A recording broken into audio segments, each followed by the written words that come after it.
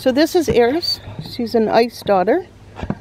And she's wearing Ice's collar because she just broke the little that one. And she has not really started pr protection because she doesn't really doesn't want to bite the sleeve. So what I'm working with, I'm going to get her on the sleeve for the helper. And so I'm set up. I have food. She's on a line with no loop on the end. Ah, ah, plex! And I have the toys I'm going to use out here. Come on. What are you going to do? No, come on. Yes. Okay. You going to play? You going to play?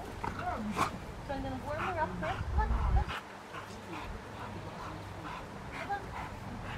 Come on. Come on. Oh, yeah. Oh, yeah. Uh-uh. Come on. Okay, so that's just to me. Okay, now we're gonna get you to see if you can start to bite. Okay, so I love this sleeve. We use this for all the beginner puppies. Sometimes you can get puppies on the sleeves at um, at um, sit, sit, good, sit, okay. So, um, sit. This is a sleeve I got from Dog Sport. Sit. Okay. So see how I'm corrected? I'm just on a close collar. That's actually a regular show collar. I also use it for training. You can try with it. No loop in the line, so you can't break a leg. Right? No bite bar in this toy. And so she is two years old. Okay.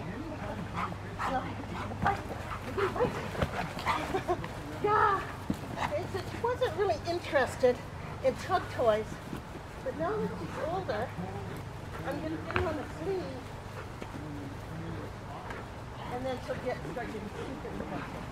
So this dog is a really late bloomer, but too many people are in a hurry to give up on the dog just because it shows nothing. Ah, you didn't bite. See how she lets go? I'm going to teach her so she never lets go. Yeah. Yeah. Then we'll put her on a helper. Yes. Good girl, Platz.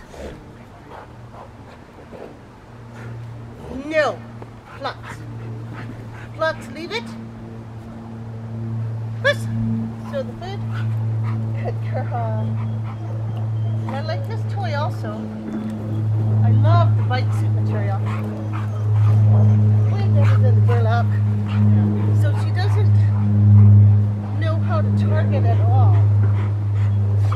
So I don't want to. Okay. I want to control the bite.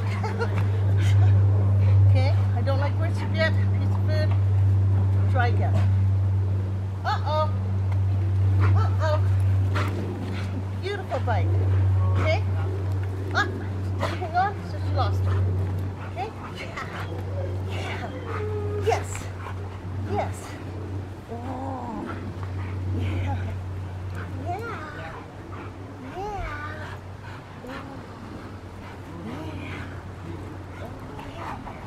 Yeah. Okay. Okay. So this thing works much better. This one, it's a little too soft for her, and she wants to chew it. I don't want her to chew. Uh-uh. Sit. Yes. No. Uh.